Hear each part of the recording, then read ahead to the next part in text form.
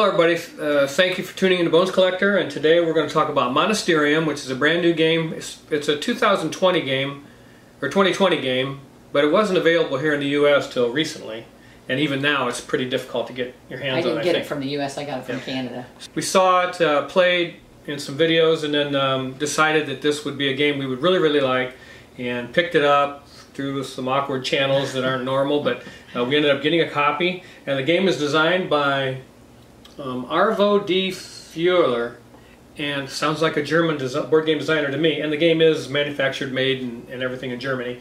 And I don't know if this is his first game or not. Uh, I should have looked that up before we did the video. Um, go ahead and show him the back of the box too. Made in the EU. Okay. Two to four players, 90 minutes, 12 and up. Back of the box doesn't. It's got a lot of writing on it. In German, and, and a lot of it's not in. Yes. a lot of it's not in uh, English. It's a terrific uh, Euro style dice game. And in this game, the main mechanism are rolling dice. And once you roll these dice, you're going to place them, you're going to place it on the board uh, in the areas designated for whatever specific value that die happens to be. And once you roll your dice, you can choose what which ones you want to play that particular turn. So in other words, uh, in this dice tray, I've rolled two twos, two fives, a four, and a six. Now, I can choose which ones I want to play. If I pick two, I have to play all the twos that I rolled. If I pick five, I have to play all the fives that I rolled, and so on.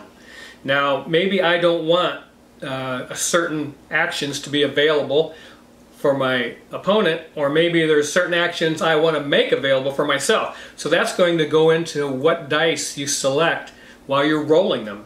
You also have the opportunity to ro uh, re-roll one time during that particular turn. Yeah, or was it round? Turn. Is it a turn? You have to flip it over turn, or?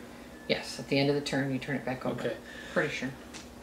Or yeah, it might be just one round. I, I can't remember, but you have the opportunity to re-roll. So, and it doesn't come into play very often because you'll you'll find uh, dice and figure out your strategy for when you're placing those. Then you also have one die that is your specific color you have the um, that in your dice pool at the beginning of the game, and you have the ability to earn more dice, which is kind of difficult to do uh, as you get down the path here between the monasteries. There's five monasteries on the board. You're simply going to be placing novices off your player mat, which you have 24 or yeah 24 of them, and place them on the board depending on what you've spent as far as resources, and you have uh, one, two, three, four different choices when you're building to place a novice. So it gets pretty complex. This game is pretty complex. Yes, it is. And um, lots of rules. Yeah, we've played it six times now. so uh, here's a player board. You can kind of see a little better what he's talking about.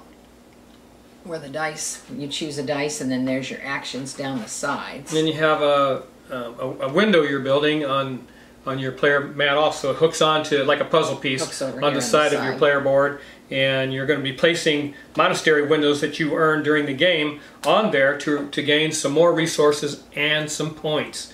So it's real important to do that if you can. I mean, it's part of uh, part of the strategy that you're going to have to weave into your game because there's so many ways to play this game. You also have four in-game goal cards that you'll be trying to achieve, and you have two end game goal cards that you'll be trying to achieve and work on. And and that's probably how you win the game. She she wins this game a lot, and I think she completes those goals better than I do. But uh, it's something that you have to. It just adds to the depth of the game, and you have to pay attention to them. They're kind of. I'm going to say this. The, the, the iconography is just a difficult, a little bit difficult to see and uh, to understand um, because it has placement areas on the cards, and you have to know what it means and after uh, quite a few plays, you can you get it down pretty good. Um, but even now, it's just something that I, I, I don't know visually if my, confusing. Yeah, confusing. I, it's just something that doesn't really connect in my brain very well. But that doesn't stop the game from being terrific.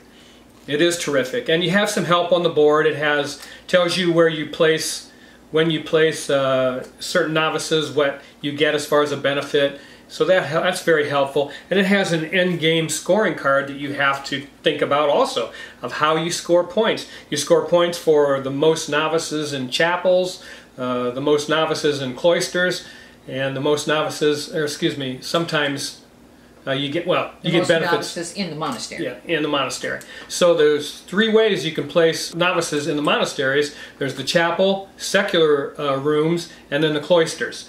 And there's certain ways you have to do that in order to score points. I'm not going to get into that. Uh, it, it get, I can get long-winded doing that. but um, so you have this card, and if once you, the game ends, you go down that card, and it shows every line shows you how to score uh, each individual thing in this game. So that's very helpful to have that aid. There are, however, some rules that are not anywhere on the board that you just have to remember. And one of them is when you're placing dice out here on the board, if I've got three fives and one of them happens to be my yellow dice, my player dice, there's three fives in that value section, I have to take that yellow dice first. Um, you can take up to three dice, in this case I'd take all three. But uh, in one through five, you can take all three dice. The sixes are wild, and you can only take one of those at a time. So if there's three, four fives. Yes. There's four you fives there, not take those and leave to, yours behind. You have to take your die. Yeah. So you can you take max three. You have to take your die. So that gives you three out of the four dice they're showing. You can take two of the neutral ones uh, with you. So and you'd leave one behind. And you might be able to get that the next turn if fives are what you're after if you're trying to move down this path. So that's how the dice mechanic works. And so there's a little bit of strategy just rolling and placing the dice because you have to remember what you're trying to do and what dice are going to trigger the actions you need to get that done. So you have there's some thought process that goes into placing dice. It's just not roll and place. The the dice represent actions, so you want those actions, or maybe your opponent you know is uh, seething for something in particular, and you want to keep those dice values away from them. So that's a pretty cool part of the game. Right off the bat, you're doing that. The game is very short. It's only three rounds. It's over way before you know it. Yeah, it's it's really short. So you really have to accomplish a lot. I've tried to play this game different ways, and uh, wasn't very successful winning when I'm doing that. But I just wanted to get a feel for it. But the best success I had was using the primary uh, scoring card as my focus, and that's getting novices out as many as possible in these monasteries, uh, having as many novices in chapels and scoring points on the multiples because you get there's a point scoring system where you uh, multiply the novices in the chapel times the novices in the cloister, and that's a very good way to score points. And so you double it. Yeah, so it's hard to ignore that um, and, and, try to do something else. The times I did win this game, yeah. I just concentrated you filled solely. up the chapels, yeah, the cloister. just getting novices out and getting uh, as many points as you can, doing that in as many monasteries as possible. There's another side of the board. Is there more monasteries yeah. on the other side? No, the same number of monasteries, but there's more spaces in the cloister and the chapels. There's there's room for more people. So it's it's a higher player count is for the other side, right? Yes. We've only played it at two. Yeah. So we can only speak about how this game works at two, and it's a magnificent again. It's magnificent game design. Um, geez, I mean it's it's in my top ten of the year for sure. Uh, for, and, and it's a 2020 game, but I'm going to count it as a 2021 yeah. because most people aren't going to get this game. It's a Euro style game. It's kind of dry. If you don't like that kind of thing, you probably won't like this game. I love dry Euro games. I mean, you know, Princess of Florence, Navegador, um, all the Stefan Feld's games. If you like that kind of thing, this this game will be right up your alley. Well, and it's still not out in the United States, yeah. so it would definitely be counted for 2021. Yeah, what did we? What was the name of that place we got? We got it from Board Game Bliss in Canada. Board, Board Game Bliss in Canada, and we've got used them before. several games that we yeah. can't get in the yeah. United States. Usually, I can get them from. That costs a little more, but sometimes it's worth it. There's a lot in this box. I'm gonna tell you that right now. I mean, it's a pretty heavy box. You've got 24 novices for four different players, and then the the avatar you're going to be moving down the path between the monasteries is a little, I think, a donkey in a cart. It's called a messenger, messenger, but it looks like a donkey pulling a cart. Yeah, and you get some benefits on the path as you go, and you have to be in certain points of the path in order to have access to place your novices. And you can see paths leading to the There's monasteries. And once you get a certain point, you you won't be able to go back and place novices in those monasteries unless you go complete the path, and which you can wrap around and start again uh, and going up the path. But man, to try to do that in three rounds is pretty tricky, and um, and you end up um, maybe not accomplishing what you wanted to start it out to do. Well, so. even though you're down here, so you can't get to this, you have a novice in the chapel, so you are allowed to place them. in these two areas without the messenger being present. Well, I'm on your player mat with these. Okay. Uh, you have, whoops, these windows at the top, and that's going to designate what action you take at the start of the game. And as you unlock and put somebody in cloisters, you flip these over, and every time you use that action, you get a point. So you've got these little windows that you've got to flip over in these boards, and uh, and that works okay. It works okay. They got little slots where your thumb fits down in. You can uh, flip these out and turn them over. Um, that's pretty works pretty well. And on as you can see, there's quite a few alternative actions that you can take once you place the novices.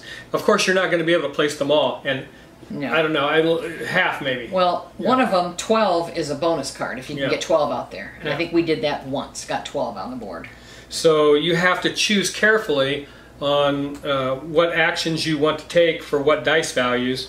And most of the time, I just try to unlock uh, some on each one, maybe two on each of the uh, five. That would be 10 novices.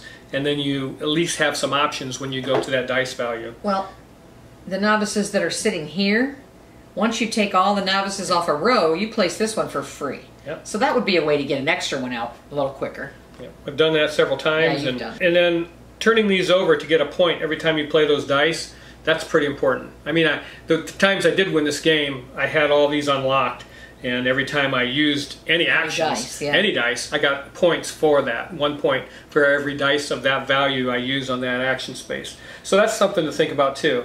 And it's almost, you almost don't want to abandon that because it works so well. But uh, I tried to do different things just to feel the game out a little bit. And I, I don't know if I just wasn't good at it or, or, or, I was, well, somehow it didn't come together for me. I should have just stuck with my uh, usual and uh, putting all the meeples on the board, all the novices, putting all the novices on the board and flipping over these uh, windows to get points and collecting resources. Yeah. So yeah, you get points for resources are worth points at the end of the game. This is a first player marker. It's a chalice that you put together, cardboard chalice, nothing fancy. And the round marker is an hourglass, mm -hmm. and it's not fancy. Just you know, slight uh, bind them together like you do with uh, opposing slots. Keep track of that three rounds. Yep, and yeah. I mean, there's just a lot to think about in this game, and again, you can approach it so many different ways that uh, it kind of it can hurt your head a little bit. This game, um, so there's so many different ways you can try to score points, but it's not fun to play the game the same way every time. Because I don't know, I, just don't like doing it. I like to feel it out a little bit and see what kind of uh, legs it has, and, and see if you can win doing crazy stuff. And so I tried to do some different things in this game because there again are so many different avenues to score points that you can take just to see if they work. I mean, you can bust your butt down this path and get your free, get one of your, unlock one of your dies, and then do it again. If you, I don't know, we've never gotten two. I think I got did, two in one game, but I lost the game yeah. because I spent so much time running down the path to get the dice. I didn't do anything else. So you have to. We've tried different things. Yeah. Yes, that didn't work. So I mean, you and as soon as you earn one of your uh, extra dice, you roll it immediately and place it so you can use it that that turn, yeah. and that's pretty cool. So it gives you an extra dice. Uh, yeah, there's it's tempting, but the game is so short here yeah. that you have to be able to weave the other things into getting that extra die. Oh, man, it's tough. I mean, there's markers if you reach over 100 points, but I don't I don't know how you get to 100 points. Yeah, you, I don't know. but the game is very deep. Deep and wide. It's deep and wide. But the rule book is very good. Yeah. It, it explains it very clearly. But wow, yeah, it's a man, it's a top 10 game for sure for 21 for me. Um, it could very well be the best game of the year for me. I mean, I love. It's up there. This these, is good. Yeah, these types of Euro games, and um, a lot good to think about. Yeah, it's fantastic. Like I say, we had to play it two times just to figure out yeah. what we were doing, and then uh, third, fourth, and fifth, and sixth time we got to have some fun with it, and because we missed some of those little rules. That's why yeah. I went through and made a list of all the little rules because we did miss a few the first two times. We missed a couple rules. Uh, you're going to love this game, and it's a must. This the board is not large; it doesn't eat your table, which I, you know, um, what can I say? I love that, and it's a small table presence, and you have a, a busy, busy player mat with all those novices on there. Now I will make one observation and complaint that I have about this game, and it's it's not going to stop me from loving it's it. It's nitpicky, but it's a big complaint. Yeah. All these novices are on deal. your player board. This isn't a double layer player board. So in the six games we played, at least three times, we accidentally hit this with our arm, and those novices scoot, and you have no idea which where they were. Yeah, where they were, what you've unlocked, and and that's a little bit. We were hitting them with dice. That's why yeah. we had to get dice trays because we were rolling dice, and they would hit them and move, and you're like, oh, where uh, was where, that? Yeah. So that is that's a little bit of an issue. I don't know if they can make some plexiglass overlays for this, and uh, would help.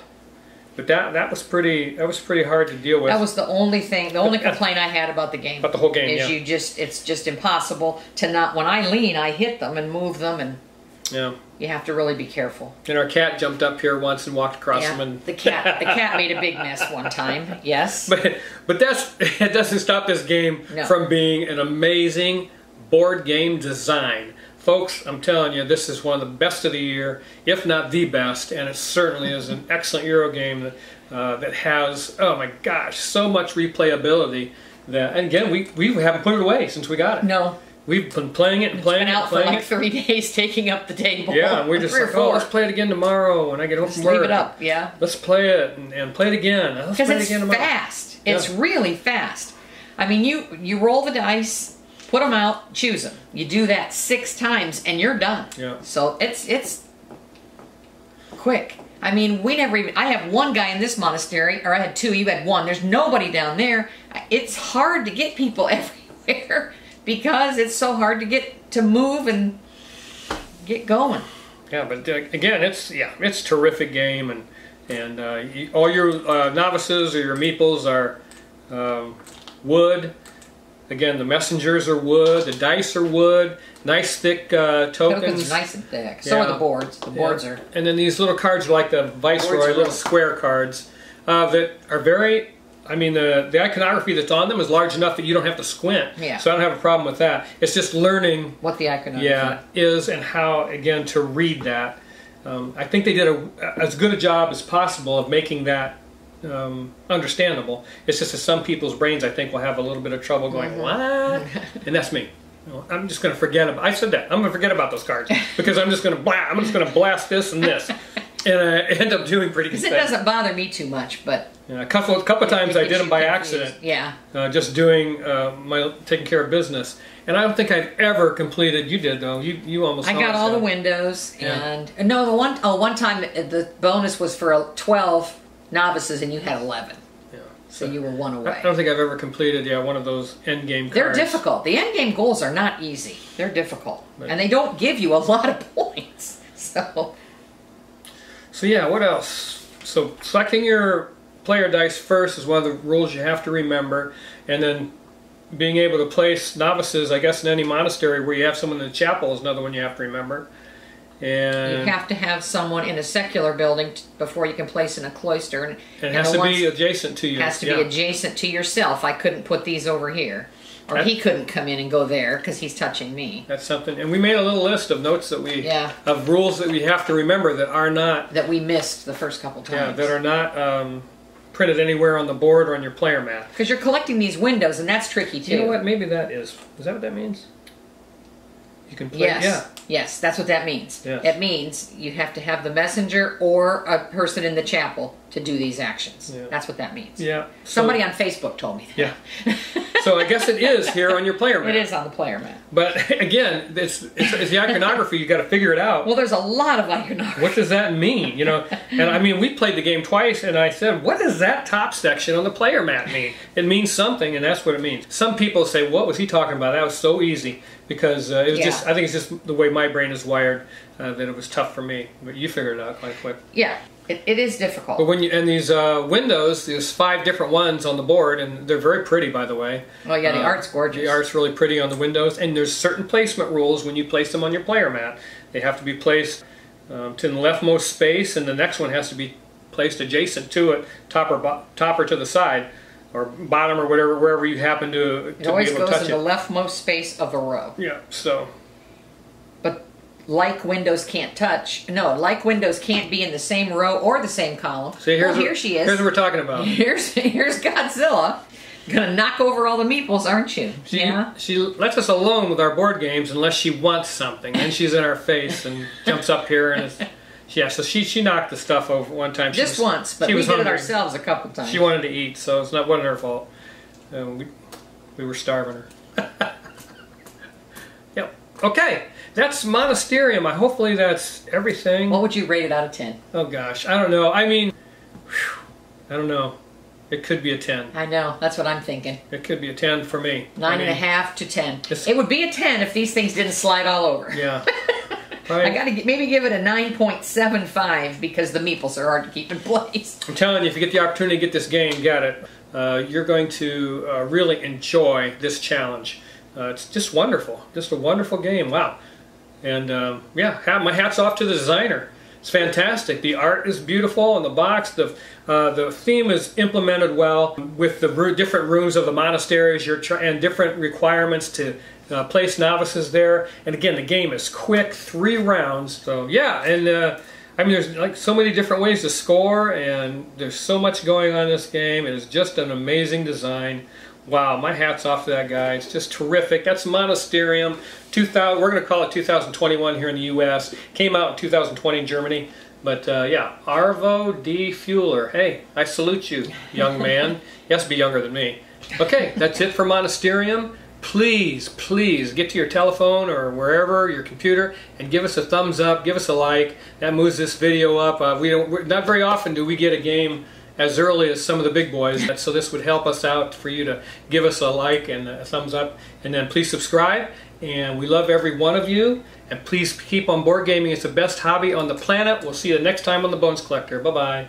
Bye.